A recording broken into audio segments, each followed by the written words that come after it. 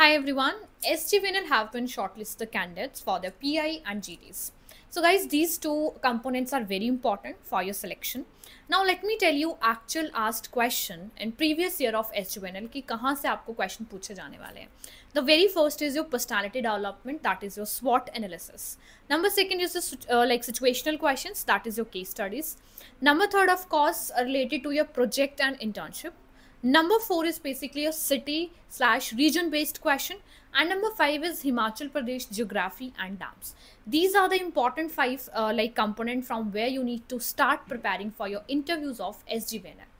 Uh, additionally, I would like to tell that you need to be prepared about your JD that is job description or your profile as well कि आप executive training के लिए जा रहे हैं या graduate engineer training के लिए जा रहे हैं जिस भी पोस्ट के लिए जा रहे हो तो उसके रोल्स स्पेसिफिकली आपको पता होने चाहिए।